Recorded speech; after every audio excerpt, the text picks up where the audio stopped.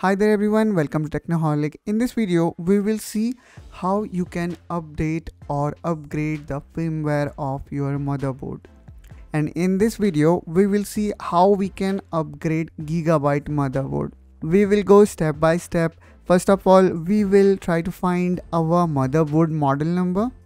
Then we will find the latest firmware available in the system.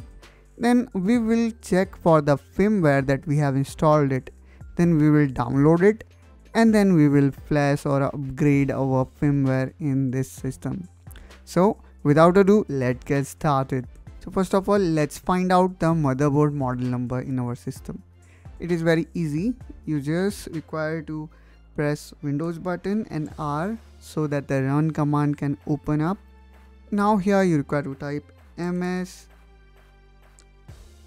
info 32 and then hit enter. So this will open up the entire and the detailed system information of your system. No matter you are using Windows 7, 10, 11, this command work fine for all major version of Windows. Now here what you got to check is the system model. So here we go. Here I can check my motherboard model number which is Z390UD. If I talk about the system manufacturer, here I can see it's Gigabyte Technology.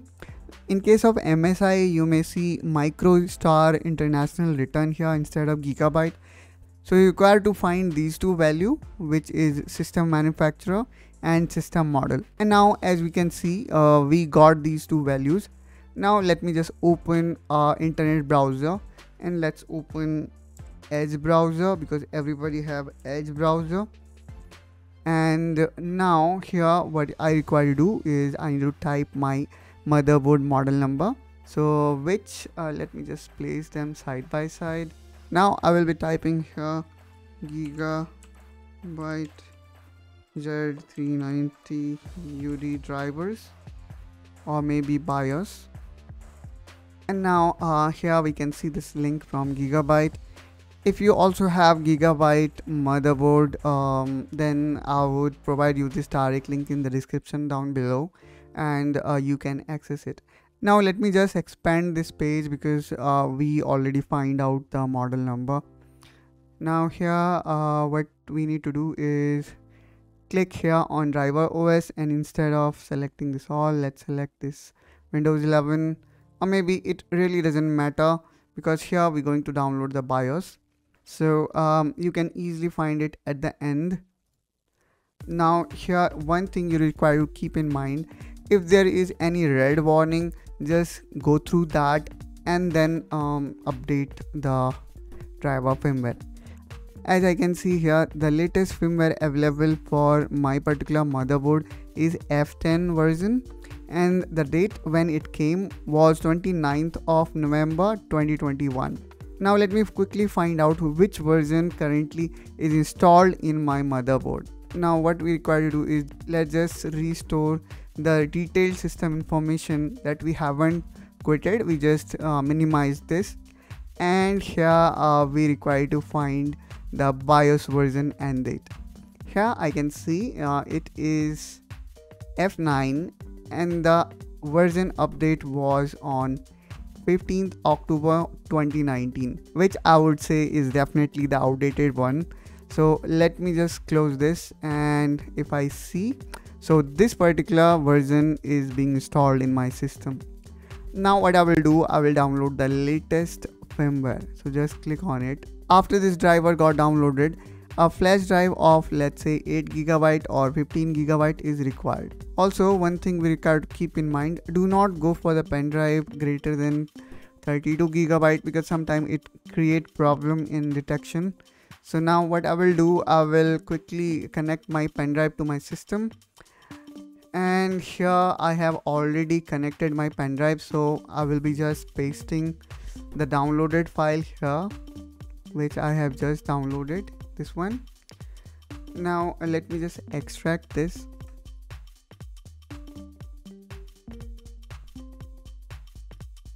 and now what I require to do is I need to shut down my system or I need to press restart so that I can go in BIOS mode. Now here I'm going to restart my system. So let me just go here and press restart. And by the way, I have already connected my pen drive here as you can see this one and the system is getting restarted. Now what I will do, I will press delete button while the system gets restarted as you can see here delete is the option to go to BIOS setup or I can also press end button and end will take me directly to the QFlash. Now here we can see we are in our BIOS mode. And the thing that we require to set up uh, is QFlash. So we can directly press F8 for that or you can just go down and here you can find it. So it really doesn't matter whether you are in advanced mode or in easy mode. It may look different. The only thing that you require to find is QFlash so here we can see it is there now uh, I will click on QFlash and now uh, what I will do I will click here on update BIOS now here uh, I need to select the proper drive. For that here on the bottom let's click here. And from here I need to select my drive. Okay. So I can see here this HP pen drive so I will be selecting that. This is my pen drive by the way. And now I will uh, select this folder and then I will click on this BIOS. Now I don't know why after selecting my camera is not able to focus on the text but believe me guys it is just the same text.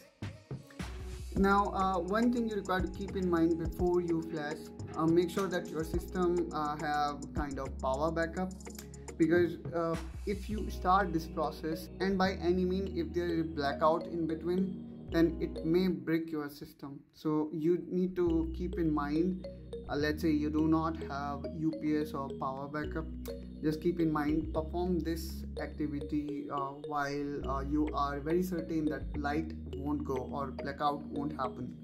Now make a double click and here we require to choose this option as yes that we are sure to update BIOS and now here we go we can see the BIOS was verified and now I need to click on start button.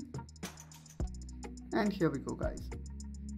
The process of BIOS firmware got started. Also on the left hand side we can see the current BIOS version and the new version that we're going to install now let's wait for a while while we flash our BIOS.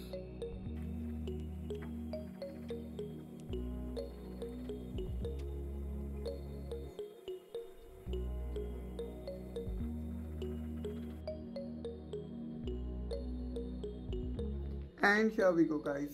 We have successfully uh, flashed our BIOS firmware. Now let me just restart the system and I will let you know the latest firmware now uh, I can also pull up my pen drive from here because uh, it's no more needed to be plugged in. Now let's wait and watch. Now after system got restarted let me just press windows and r button again and the type same command which was ms info 32 and hit enter and this time again if i go here and check for the bios version and date now here it is showing us the latest bios which is f10 for my particular motherboard. So that's how guys you can update or upgrade your bios. And this method actually is applicable for any other variant of motherboard. So it really doesn't matter whether you have this particular model or another so that's all guys from my side in this video. I hope you enjoyed it. If yes then don't forget to like and subscribe to this channel for such content. And i will see you soon in the next video. Till then take care and bye bye